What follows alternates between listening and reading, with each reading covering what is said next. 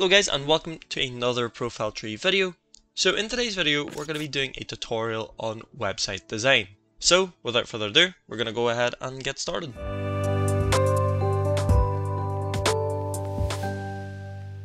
So just before we get started, what exactly is website design? Website design is not just about making a site look aesthetically pleasing. It involves creating a functional user-friendly and effective online presence. Website design is a key aspect to any sort of website.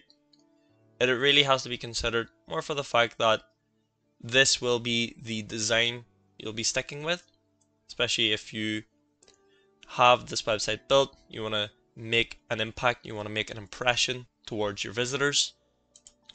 So what exactly are the different aspects on the website design? Number one is the visual design. First, you have the layout. So this is about organizing and structuring the content and elements on a page. A good layout guides visitors naturally through the website, from the most important information to secondary items. Initially, what you would want to have, especially on the landing page or a home page, is information about your company. So we will use our ProfileTree website as an example, just to give you guys an idea. So here we have the ProfileTree website. Now firstly, when you open up this site, this is the first thing you'll see. You'll see we deliver sleek website design and optimized content marketing. It's straight to the point. You understand what we do as an agency. You even have in small here, digital marketing agency driving business online. So just a couple of little pointers there, a couple of little hints as to what we do. And from the three paragraphs that you see here, this is pretty much everything that we do compressed. And it's a great introduction as well for a hero section. Straight away, that is part of the layout. You're constructing the most important information to secondary items. So if we scroll down, you can see we have a video, and this would be our secondary item, and this further explains our most important information. So that gives a visitor a clear idea on what other areas we do if we can reel them in at the very very start that we do website design and con, con like optimize content marketing it doesn't of course have to be what you see in front of you. It could be for food it could be for clothing websites or e-commerce websites non-e-commerce websites. As long as you've reeled the visitor in then that's where you can provide the secondary information or secondary items like your video and and about us on what the company does. So it's always great to have an about us. You don't need to completely specify about us. You could see it says award winning content marketing agency. And we actually explain further some of the information that we haven't stated at the very start. So once we have the visitor's attention, this is when we can start adding more information. So hopefully that gives you an idea on the overall layout. So the next point for visual design is the color scheme. Colors can invoke emotions and convey messages. The color scheme should align with your brand and be appealing to your target audience. So again, take us for example, we're a ProfileTree. So our logo is color green and we do have a slight dark background and of course, along with that, to tie that all in, we've got color white to blend everything together. But our brand colors really is green. So we picked a specific green, of course, to make it more memorable. When people see that, okay, it's a that, that's that company with the lighter green color. Of course, if they ever hop onto the website. So it is just good to have a color scheme it also helps visitors remember your brand. So it's best to stick with the colors that you're either familiar with or think of a color scheme for your business or website. The most important part is typography. So the choice of fonts affects readability and overall impression of the site. It's important to use web-safe fonts that align with the site's character and are easy to read on all devices. So again, another very important aspect to a website you have to make sure that it is easy to read. On our website, we have a slight heavier font weight, so it's easier to read for any sort of user. And we make sure that the sizing of the smaller paragraphs is a little bit bigger as well. So just so people could see it a little better. And lastly is the imagery. So make sure that you include photos, illustrations, icons, and videos. It's also best to ensure that the images is of high quality, relevant, and optimized for web use to not negatively impact loading times. So number two is the functional design. This is where you think about the user navigation. So this includes the design of menus, buttons, and links, Navigation should be intuitive, and that makes it easy for visitors to find what they're looking for with minimal clicks. So that's, of course, with your header. So this is where you decide, okay, if you have a multi-page website and you have things like the FAQ, you have uh, other pages around the site, will it be relevant to add it to the header? Is it best to put it onto the footer? where you'll have sub menu pages. So there's a lot to consider when you are creating the user navigation. As well as this, you want to make sure that the website's responsive. So that takes us to the responsive design. The website must work well and look good on a variety of devices. That includes the desktop, tablets, and smartphones. So I know we will be looking at a website builder just to demonstrate the overall website design.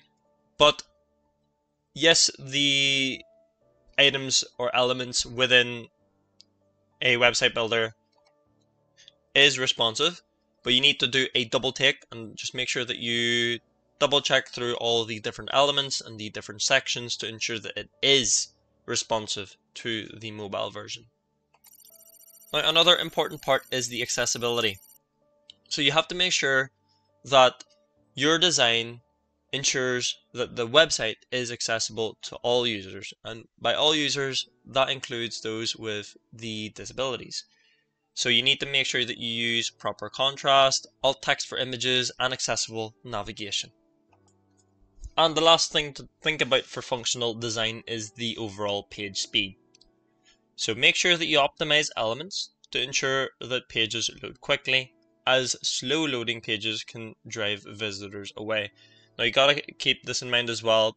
This occurs the same for the mobile device. So say for example that you're trying to open up a website. It doesn't matter whether they're connected to the internet or if they're using a 5G network or 4G network, whatever network they will have. If that page hasn't loaded in time, it can steer and drive visitors away. So that is one thing that you really need to consider. Now there are several tools you can use as a web developer or an individual.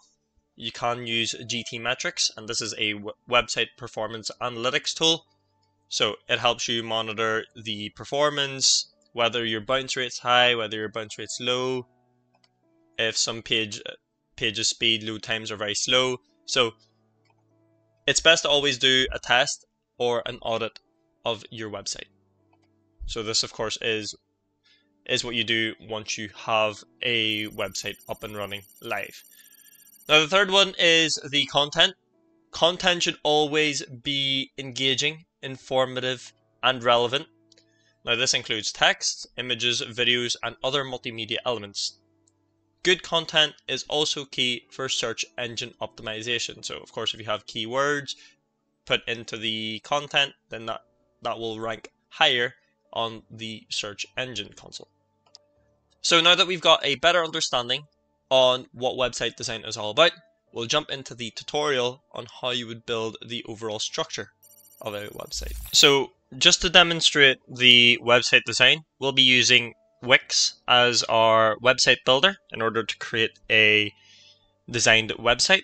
So um, there are multiple options if you want to try this out for yourselves. Uh, there is the Wix editor and Wix Studio. So I'm actually just going to set up without AI just to speed up the process here. Now, it is always good to use templates as a base just to get an understanding of what sort of website you want to go for. So for us, we're just going to go for a digital marketing agency. Just like so. And I'm going to go ahead and click next. And this means that I can copy the design that we have for ProfileTree onto Wix. So we'll just say, what's your business name? I'll just say ProfileTree. Go ahead and click next. And we have multiple options here for apps. I'm just going to leave that, click next. And okay, so this is where I can start a website straight away. It'll be a blank template, or I can begin with a template now. As I said, it is great to look at some of the different templates that are available. We can see that, okay, th these are closely related to what a marketing agency is. So, see, as you can see. So, when you are looking for a template, it really just depends on the design. Uh, and of course, you want to think about how you would structure the website. As I said, you want to put the most imp uh, important information at the very first and then all your secondary items will be at the bottom. So if we do more of a comparison build towards what we have with ProfileTree, I'll try to just replicate the hero section just so you guys have an understanding on how you would do the design process. Now initially, if you are creating a website on say a content management system like WordPress, then that's where you would have a UI or UX designer or a design set in place, just so you can understand where you would have your uh, CTA, which is your control to action buttons, and where you would have your layout for your images and your content. So you just need to be certain that the website itself as well is very accessible. So with a website builder, what I like particularly about this is it will skip all those different steps.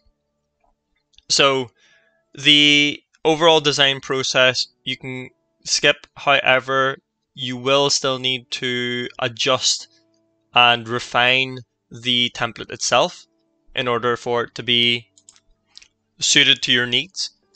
So we'll open one up here just to get you an idea. I'll go ahead and edit this one. Now, just so you know, you can edit a template.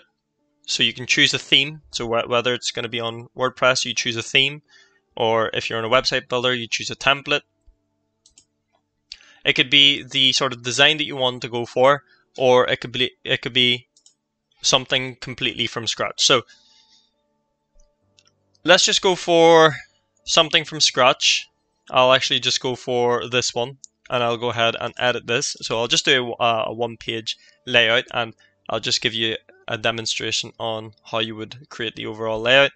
How I would do it is I would design the header and I would design the footer. Once you got the design for top and bottom, then that's where you can focus on doing the content. What do you want to have in your sections? Are you going to have your hero section? Is it going to show a video? Is it going to show information? And then is your next section going to be an about us or is it going to be meet the team of some sort? But I, I would recommend to have an about us uh, just for your actual website or business. You want to gain more of an information on what you as an individual does. So I'll wait for this to load up and I'll skip ahead once it's done. So the site is loaded now. So with this, there are different options for different website builders. Sometimes it'll give you an explanation on how to use it. It really is just practice makes perfect or trial and error when you are working with a website builder. Uh, of course, with a content management system, it does work a little bit differently when you are creating that overall website design. However, I'll just give you a guide on how to use Wix itself. So we have add elements, add section, pages, menu, site design, and so on. So we'll just skip all of this for now and we'll zoom in. So initially what we have is a blend from the hero section to the header. So nice and modern, I would say. And what I want to do here is an edit of the actual strip background. So I'm just going to change that strip background's color and I'm going to do it close to the color of ProfileTree. So I'm just going to add a color here and then 1E, 2C, 38. Just like so. So just for reference, this is what I'm trying to follow. Just go back here and see, we'll go back to this one. The column background, we want to change that again to that same color. And then this column background as well. Change that color to this color. So we've got our first stage here. Again you will be creating your own colors so don't you don't need to necessarily follow this. I'm just giving you guys an example of what you can do. So I'll just put down ProfileTree. Just have that in bold just like so and then I will change that color to a color green. So 33 BC 77 apply that color.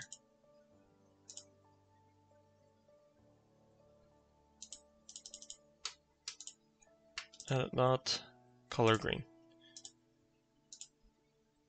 Okay. And then our horizontal menu. So at the minute this is what it looks like. I will actually just have our logo on here in a minute, but we are just changing the menu. So what I want to do is change the design of the, this one, customize that design.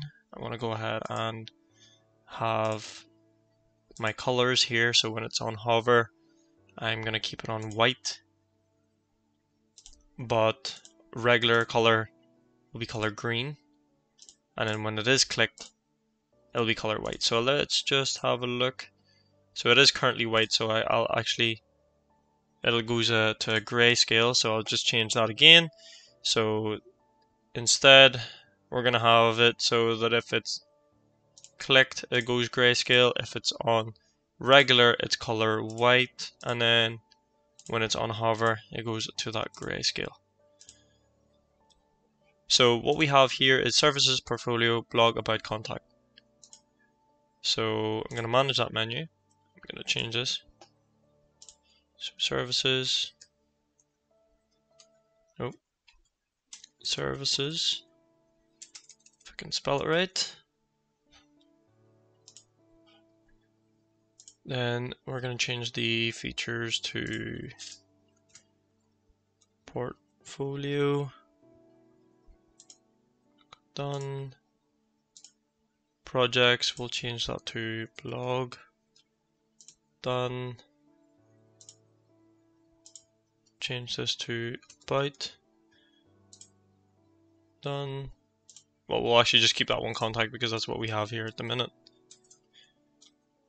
Done. Duplicate this one. Have this as a byte. Just like so. Click done. Exit off that. So we have our section there where we've got our home. So we'll actually, what we'll do is remove the home.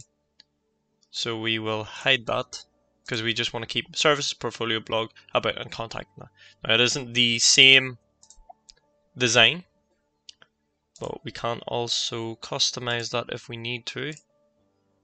So for the meantime, just going to keep it that it does just look a little nicer. So it's not necessarily our logo um, choice for the fonts, but I like the look of it, so we'll just stick with it. So now that we've got that section, we've got the header, what you would primarily do now is focus on the footer. So of course, create the footer of the site. So this is what we have for the footer. It's actually very close to what we have. Uh, the only difference is we don't have the contact here, but we do have join our mailing list. So we can keep that.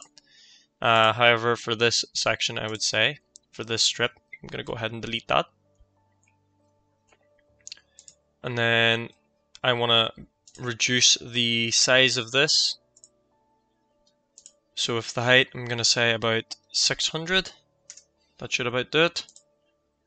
See if this uh, will roll it up. If not, I will adjust and fix.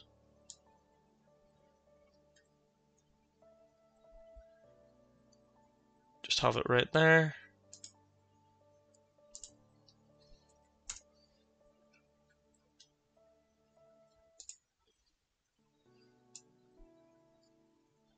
Just like so.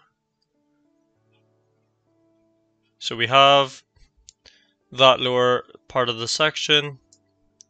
Extend it down a little bit because we want to add a little menu here.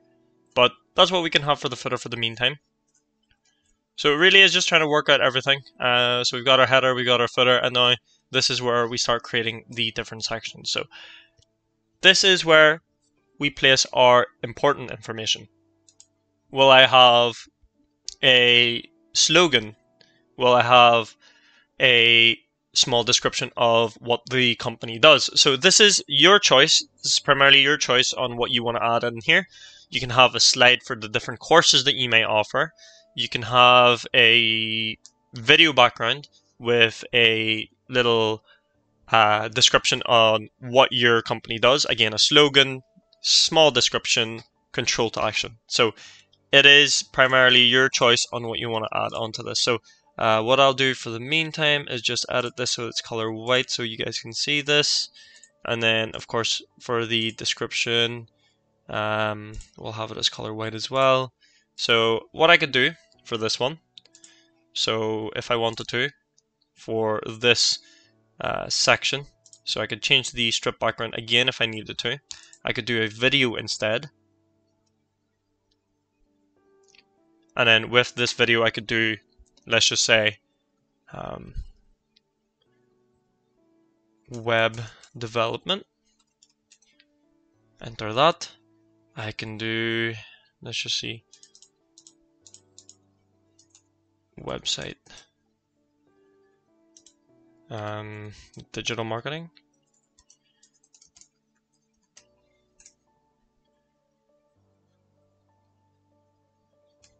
So of course you can't have something in terms of the like a video background. So let's just do this for the example.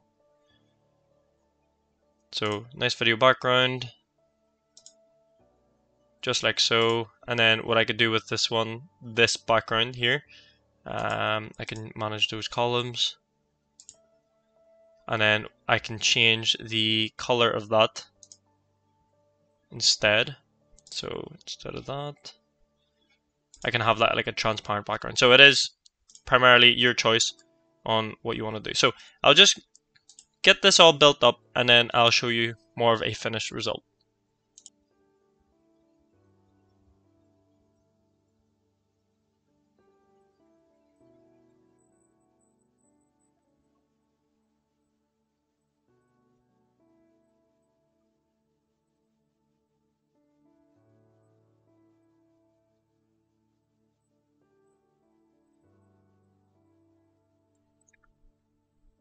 So just scrolling up there, as you can see, this is the sort of overall look that I've went for. So it's just scrolling up there just so uh, I could preview it. But this is the look that you can go for. Again, it will just be practice makes perfect until you can create a design that you overall like. Just to give you guys another example, I did create another website quickly there just to showcase Now this was just a very quick one. Um, I didn't quite put the offset on that right. However, if you take a look, this is what a car dealership can look like. So it just goes to show what sort of fonts you use, what sort of layout you use will make sense when you do that overall design. So this one aims to be more of a modern website. So I've used mainly a font that ties in well with that, I think. And then on top of that, I've added some videos as well, just to modernize the overall look of this website. You can see this is what it kind of looks like when you're going down, and then uh, you've got like a little uh, blog post or news, and then just a little bit of a, a bit of some information that you can put in, and of course the footer. So what I focused on here is the header and the footer uh, I sort of went for a header that is blended in with the hero section itself. So that, that was more of the look that I was going for. And then with the footer, I wanted to add a navigation for everything, as well as the social media and the location. And on top of that location, I added even like a little sal- satellite or maps just below. So modernizing that look. And then if we take a look at the different pages, uh, there's like a little services page, keeping it minimalistic in the look. Uh, again, video background on the top there, as you can see. So that's uh, more of the look that I was going for. And then uh, use cars here, again, video background. And I've done that for the other pages as well. So like there's the new cars, and then that was the used cars, and then contact information, still tying in with that same layout. And then even with the about as well, again, still tying in with that same layout. I wanted to make sure that it was it's the same throughout the entire website. So there's a lot of potential that you could do with a website design. It is just the matter of what design you want to go for. Are you going to go for a modernized look? Are you going to go for a minimalistic look? It all really just depends on how you build the overall website. So that pretty much sums everything up. But guys, hopefully that gives you an idea on how to create a website design. It is fairly simple, especially if you're using a website builder and you don't want to worry about the technical aspect of it. Drag and drop features, that's what's good about using a website builder. Again, if you want to go for the content management route where you're using WordPress and designing the site, there's multiple ways of doing so. But hopefully this gives you more of a structured idea on how to lay things out with the typography as well as the overall layout, the colors to use, the scheme, and hopefully you can implement what you've learned today onto your website. But guys, hopefully this video was helpful. If it was, let us know in the comment section below. We'd like to know what you think. But other than that, I'll see you guys for the next video. Thank you very much for watching.